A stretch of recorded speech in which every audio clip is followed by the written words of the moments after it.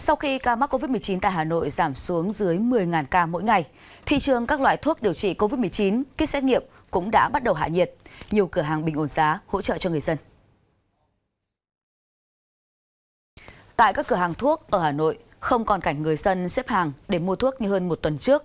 Thời điểm Hà Nội liên tục ghi nhận hơn 30.000 ca mắc COVID-19 mới mỗi ngày. Tại khu vực trung tâm phân phối thuốc lớn nhất Hà Nội, không còn cảnh nhộn nhịp mua bán, thay vào đó là hình ảnh người mua thừa thớt. Giá thuốc điều trị COVID-19 thuốc Monopiravir giảm còn 230.000 đồng một liệu trình. Ngoài ra, cửa hàng giảm giá cho người bệnh thuộc hộ nghèo còn 200.000 đồng một liệu trình. Kit xét nghiệm nhanh COVID-19 giá cũng chỉ còn 39.000 đồng một kit.